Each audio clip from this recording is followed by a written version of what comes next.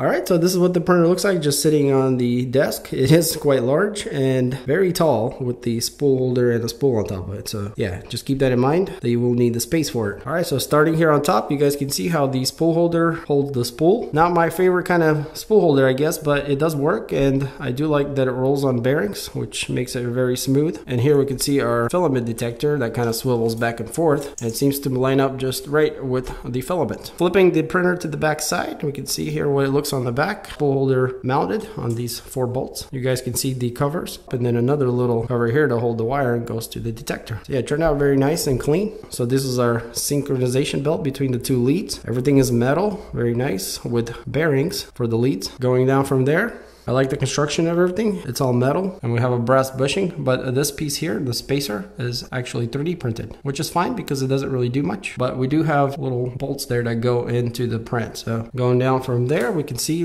we got the coupler here with the motor. And then the connection does use a plastic bracket, which we did have to tighten those little bolts on top, stop the motor from moving around. We can see our plugs that we plugged in, one down here, then the motor, and then the ribbon cable on the front side. Now what's awesome is we get really large rails for the Y and the X. Very nice and impressive to see that. You guys can see that's the Y motor and it does move back and forth to tighten the belt and you loosen two bolts underneath to do that. Going back here to the top on our hot end, this bolt here locks in the tool head and it's a little bit hard to get to as it's kind of like doesn't have much grip. I wish it was a little longer maybe so you could reach it better, but not too bad. So our rollers here nicely adjusted. We're going down we can see this really cool design on the base. We've got these cutouts. Very interesting and very unique looking. So going all the way down, you guys can see we've got a pretty thin profile. Very impressive for how large this printer is. And again, I love this. It looks like cast maybe because I don't know how they do all these corners all in one piece because the whole thing is pretty nice looking. So it's probably stamped, but in any case, it's very nicely designed with very clean construction because it's all one piece. But yeah, here we have the input port for the power cable. It is fused with an on and off switch. And from the back, we got a cable that comes out and goes to the bed. Now I can't really tell if it's strain relieved or not, but there's some kind of glue around it or rubber, but it seems like somewhat it is. And you guys can see that our bed is insulated, which is great. So let's go back to the front. In this corner here, we can see there's a nice little accent. And the theme of the printer is like an orange. So yeah, it looks really nice.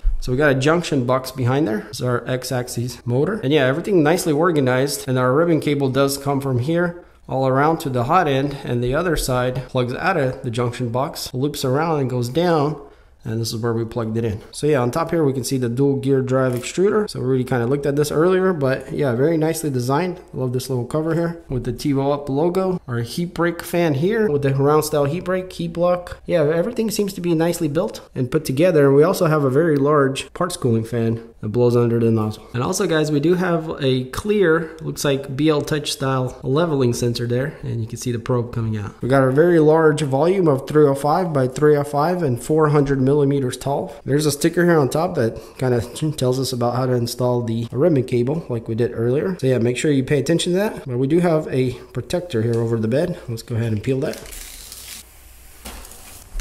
So the bed itself is a perforated kind of finish. When the bed is hot, the models stick, and when it cools off, they should just pop right off. So yeah, we'll see how well that works. And going down, we saw that it is insulated. And what's great, it's all the way to the edges, which is gonna do really nice. And preheating our build platform quickly. And this is an AC bed, guys, and that's that little orange rubber that you see there. That's the heating element. So the frame does appear to be pretty good quality, and we get these nice little orange knobs to adjust the bed. There's some numbers on them, and nice quality Yellow Springs. And on the front, we got the logo here and the screen, which has a protector. Let's go ahead and peel that.